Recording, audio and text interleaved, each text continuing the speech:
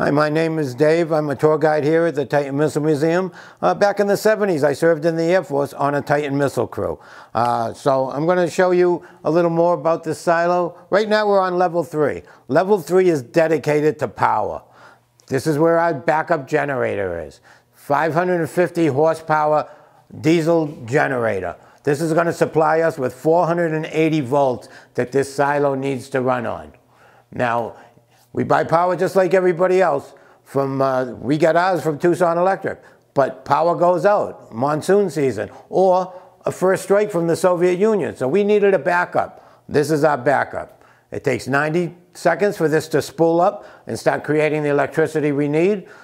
We can't go 90 seconds without power because the gyroscopes and the inertial measurement unit always need power. So there's two backup batteries on level three of the uh, control center, and those kick on immediately, going to supply us power that we need until this kicks on.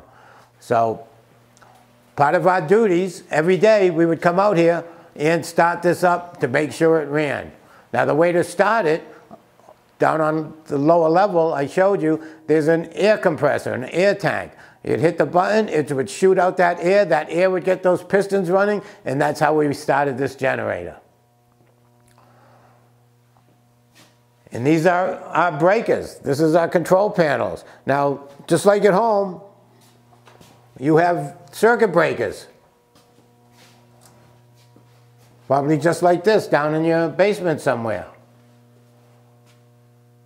What a circuit breaker looks like. Well, for a missile silo, 480 volts, these are what the circuit breakers look like. This is all high voltage. It's very dangerous. And this would supply us with the power we needed to keep this place operational until we were able to launch this missile, if it was called for.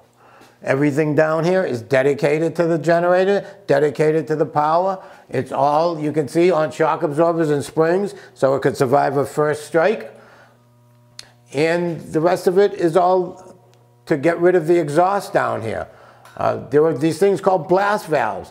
Blast valve allows air in and out in this case. But during a first strike, if it detects a nuclear attack or if it detects a launch, those things slam closed, cutting off the air supply to everything.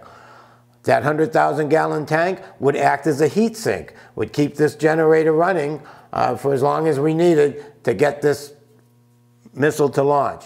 After the missile launch, we're basically out of electricity and we were kind of on our own at that point.